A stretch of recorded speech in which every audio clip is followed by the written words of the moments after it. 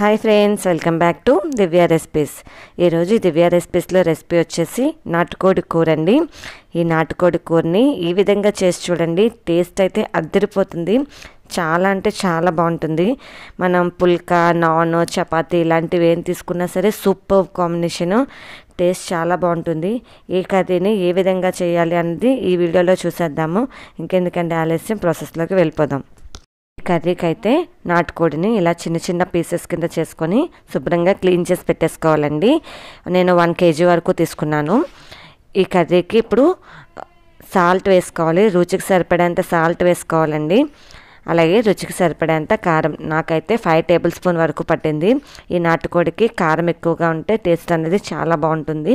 కారం తక్కువ తినేవాళ్ళు తక్కువ కూడా వేసుకోవచ్చు. అలాగే అల్లం వెల్లుల్లి పేస్ట్ ఒక రెండు టేబుల్ స్పూన్స్ వరకు వేసుకున్నాను. ఇవన్నీ కూడా బాగా మిక్స్ మిక్స్ చేసుకోవాలండి. మొత్తం కూడా కూరకు పట్టేటట్టు బాగా మిక్స్ చేసేసుకోవాలి. చూస్తున్నారు కదా ఈ విధంగా మిక్స్ చేసుకుంటే సరిపోతుంది. మనం క్యాప్ పెట్టేసి ఒక half an hour one hour పాటు పక్కన పెట్టేసుకుంటే చికెన్ అనేది చక్కగా నానిపోతుంది. మసాలా కోసం గసగసాలు జీలకర్ర యాలకులు అలాగే మసాలా సామాన్లు వేసుకోవాలండి. కొంచెం వేసుకుంటే సరిపోతున్నాయి.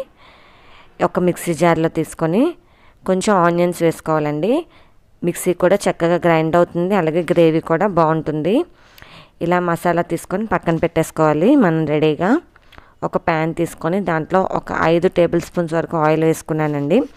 ఈ కూరకి ఆయిల్ అనేది ఎక్కువగా పడుతుంది ఎందుకంటే కోడికి ఆయిల్ అనేది కొవ్వు ఉండదు కాబట్టి ఎక్కువగా పడుతుంది. దీంట్లో ఒక నాలుగు వరకు పచ్చిమిర్చి వేసుకున్నాను అలాగే రెండు ఉల్లిగడ్డల్ని సన్నగా కట్ చేసి వేసుకున్నాను.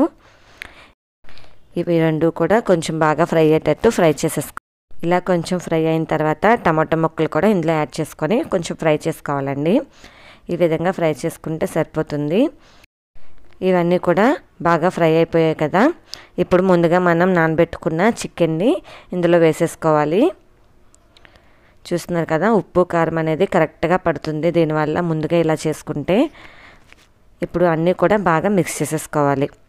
ఆనియన్స్ ఇవన్నీ కూడా బాగా మిక్స్ అయ్యేటట్టు బాగా మిక్స్ చేసేసుకొని ఒక్కసారి క్యాప్ పెట్టేసుకోవాలండి. ఈ క్యాప్ ఒక టెన్ మినిట్స్ తర్వాత తీసి చూస్తే మనకి వాటర్ అనేది బయటకు వస్తుందండి. చూసారు కదా వాటర్ అనేది బయటకు వస్తుంది.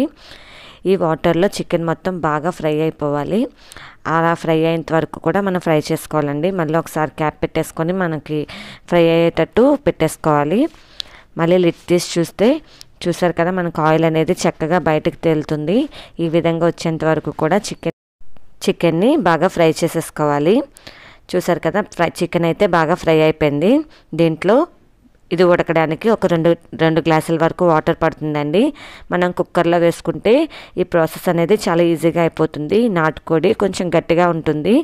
మనం ఇలాగ తపాల్లో ఉడకపెట్టుకుంటే టైం అనేది కొంచెం ఎక్కువగా పడుతుందండి. ఒకసారి సాల్ట్ చెక్ చేసుకొని కొంచెం సాల్ట్ కూడా వేసేసుకొని ఇప్పుడే బాగా మిక్స్ చేసేసుకోవాలి. ఇది ఉడకడానికైతే కొంచెం టైం ఎక్కువగానే పడుతుందండి. మీరు తీసుకునే కోడిని బట్టి మనకి టైం అనేది పడుతుంది. ఇప్పుడు మనకి చికెన్ అయితే చక్కగా ఉడికిపోయింది. దీంట్లో ముందుగా మనం మసాలా చేసుకున్నాం కదండి ఆ మసాలాని వేసేసుకోవాలి. ఇది చికెన్ ఉడికేక వేసుకుంటే బాగుంటుందండి. చికెన్ అనేది చక్కగా ఉడికిపోతుంది. ముందుగా వేసేసుకుంటే చికెన్ ఉడకడానికి టైం పట్టేస్తుంది. అందుకని నేను ఈ టైంలో వేసుకున్నాను. చూసారు కదా గ్రేవీ అయితే ఈ విధంగా వచ్చేస్తుంది. ఇప్పుడు మళ్ళీ ఒకసారి క్యాప్ క్యాప్ పెట్టేసుకొని ఈ చికెన్ అలాగే గ్రేవీ కూడా బాగా కుక్ అయ్యేటట్టు కుక్ చేసుకోవాలి. చూసారు కదా? బాగా కుక్ అయిపోయింది. మనకి గ్రేవీ అనేది కొంచెం ఈ కన్సిస్టెన్సీలో నచ్చిన వాళ్ళు తీసేసుకోవచ్చు. చూసారు కదా నా మా నాటుకోడి కూర అయితే రెడీ అయిపోయిందండి. ఇప్పుడు సర్వింగ్ బౌల్లో తీసేసుకుంటున్నాను. టేస్ట్ అయితే చాలా బాగుంటుంది. సూపర్ కాంబినేషన్ ఇది ఇది అన్నిటికీ కూడా. చూసారు కదండి నాటుకోడి కూర ఎంత అందంగా కనిపిస్తుందో టేస్ట్ కూడా అంతే బాగుంటుంది. ఇలాంటి నాటుకోడి కూరని మీరు కూడా మీ ఇంట్లో ట్రై చేయండి. చాలా బాగుంటుంది. ఈ ఈ నాటుకోడి కూర వీడియో కనుక మీకు నచ్చినట్లయితే లైక్ చేయండి కామెంట్ చేయండి షేర్ చేయండి సబ్స్క్రైబ్ చేయడం మర్చిపోకండి. మరిన్ని టేస్టీ రెసిపీస్ కోసం దివ్య రెసిపీస్ని సబ్స్క్రైబ్ చేసుకోండి. Thank you for watching